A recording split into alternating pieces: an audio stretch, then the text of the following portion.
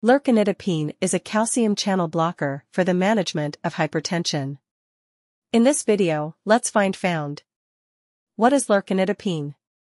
What is lercanidipine used for? Contraindication. What are the side effects of taking lercanidipine? How does lercanidipine work? How to use lercanidipine? What is lercanidipine? Lercanidipine, trade name Zanidip, among others, is an antihypertensive, blood pressure-lowering, drug.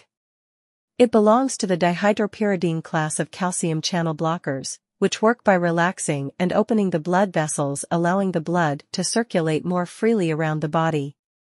This lowers the blood pressure and allows the heart to work more efficiently. It was patented in 1984 and approved for medical use in 1997. What is lercanidipine used for? For the treatment of hypertension, management of angina pectoris and Raynaud's syndrome.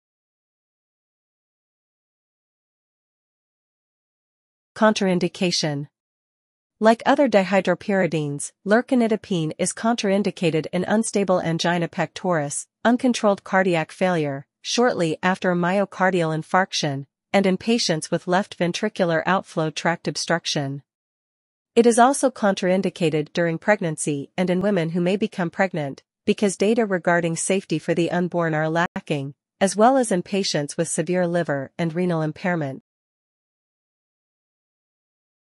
Side effects Lercanidipine is generally well tolerated, no single adverse effect has been observed in more than 1% of patients treated with this drug. Typical side effects are similar to those of other drugs of this class and include headache, dizziness, tachycardia, fast heartbeat, palpitations, flush, and edema. Pharmacodynamic Lercanidipine, a dihydropyridine calcium channel blocker, is used alone or with an angiotensin-converting enzyme inhibitor to treat hypertension, chronic stable angina pectoris, and Prinzmetal's variant angina. Lercanidipine is similar to other peripheral vasodilators. Lercanidipine inhibits the influx of extracellular calcium across the myocardial and vascular smooth muscle cell membranes, possibly by deforming the channel, inhibiting ion control gating mechanisms, and or interfering with the release of calcium from the sarcoplasmic reticulum. The decrease in intracellular calcium inhibits the processes of the myocardial smooth muscle cells, causing dilation of the coronary and systemic arteries, increased oxygen delivery to the myocardial tissue, decreased total peripheral resistance, decreased systemic blood pressure, and decreased afterload. Mechanism of action.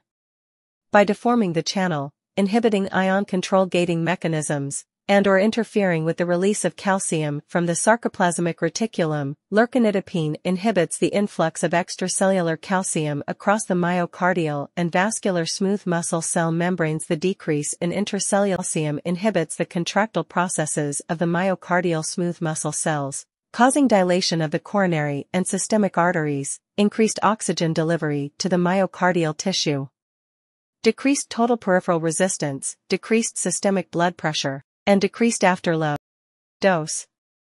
Lercanidipine comes as 10 mg and 20 mg tablets. The usual starting dose of lercanidipine is 10 mg once a day at least 15 minutes before meals. The dose may be increased to 20 mg depending on the individual patient's response.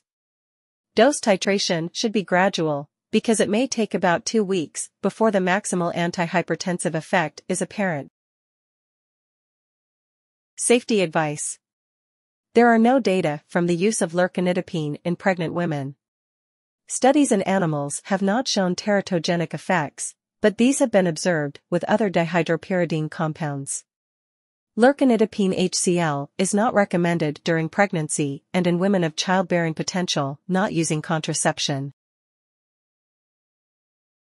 Dose Lercanidipine comes as 10 mg and 20 mg tablets.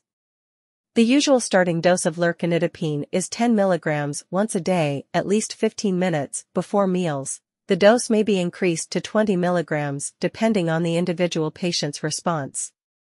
Dose titration should be gradual, because it may take about two weeks before the maximal antihypertensive effect is apparent.